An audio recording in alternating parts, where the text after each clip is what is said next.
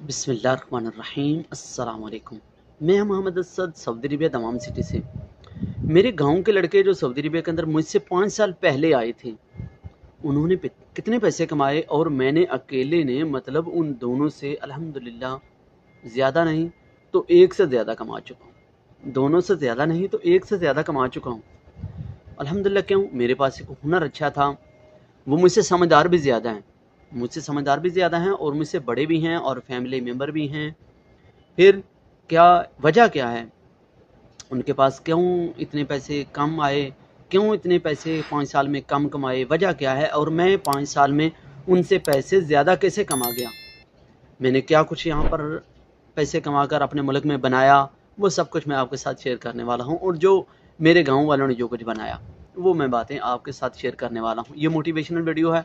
अगर आप Saudi Arabia में आए हैं तो मेहनत करें, कड़ी से कड़ी मेहनत करें और आने से पहले आप अपने मुल्क में हुनर ज़रूर सीख कर आएँ। सऊदी अरबिया में आने का मकसद यही होता है कि हम पैसे ज़्यादा कमाएँ।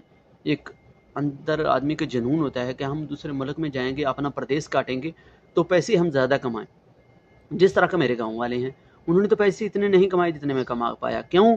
मेरे पास एक हुनर था। पाकिस्तान में तो मैंने नहीं सीखा था। सऊदी अरबिया के अंदर आकर सीखा, लेकिन इतना नहीं सीखा था, लेकिन समझ रखता था कि पाकिस्तान में ऐसे काम होता है। लेकिन मुझे भी ऐसे लोग मिले जिस तरह के मेरे गाँव वालों को मिले। मेरे को ऐसे लोग मिले जो हमें कहते कि हम आपको काम सिखाएँगे, लेकिन आपको पैसे कम देंगे, योमिया कम देंगे, लेकिन इस बात को भी मैंने तरजीह नहीं दी। मैंने क्या किया है? मैंने कहा कि मैंने काम भी सीखना है और साथ साथ अपनी योमिया भी कम नहीं करनी है। जो मैं पैसे मताल के तौर पर 130 रियाल ले रहा हूँ तो 130 ही कमाऊँगा। मैं एक सौ रियाल नहीं लूँगा, नब्बे रियाल नहीं लूँगा। मैं उतने ही पैसे कमाऊँगा जितने मैं कमा रहा हूँ, और साथ साथ मैं काम भी सीखूँगा। मैं दोनों काम बराबर के करते चलूँगा। जो लोग छः महीने में करते हैं, आठ महीने में करते हैं, वो मैंने एक साल में कर लिया तो अल्हम्दुलिल्लाह वो पैसे भी पूरे कर ली, और साथ साथ मेरे पास हुनर भी आ गए, स्किल भी आ गई। और सऊदी अरबिया के अंदर अल्हम्दुलिल्लाह आज मैं 200 रियाल 220 रियाल पर डे कमाता हूँ। जो कि पाकिस्तानी चौदह हज़ार से ज़ायद पैसे बनते हैं। आप खुद अंदाज़ा कर लीजिए, एक लेबर में आने का कितना फ़ायदा है और कारीगर में आने का कितना फ़ायदा है। मेरे गाँव वाले भी आदमी प्रदेश काट रहे हैं और मैं भी प्रदेश ही काट रहा हूँ। इकामे के पैसे वो भी उतने देते हैं, मैं भी इकामे के पैसे उतने देता हूँ। फ़र्क किसमें है?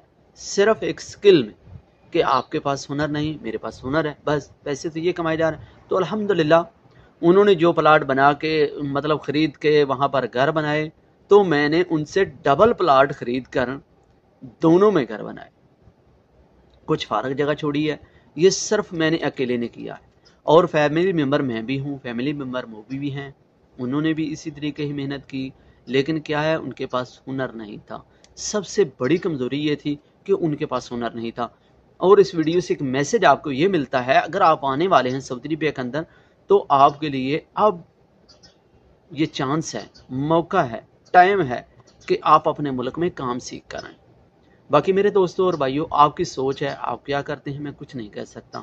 हमारा तो मकसद आपको बताना, एक मोटिवेशनल वीडियो आपके लिए बनानी, एक अच्छी सोच आपको, हमारी जो है, हम आपको बताते हैं। बाकी आप क्या करते हैं, क्या नहीं करते, कौन सा वीज़ा लेना है, कौन सा नहीं, आप भी हमें कमेंट करके बता सकते हैं। तो हमारी आज की वीडियो आपको कैसी लगी? अगर आप कोई भी मज़ीद इन्फॉर्मेशन वीज़ा के बारे में, या कोई काम के रिलेटेड लाइव हम आपको यहाँ पर इंटरव्यू सऊदी अरबिया के अंदर दिखाते हैं, कौन सा काम अच्छा है, कौन सा नहीं, किसमें पैसे ज़्यादा कमा सकते हैं, किसमें नहीं। तो आप हमारे चैनल को सब्सक्राइब कर सकते हैं और अच्छा सा कमेंट कर सकते हैं, इंशाल्लाह मिलेंगे अगले वीडियो में। अल्लाह हाफिज़, पाकिस्तान, जिंदाबाद।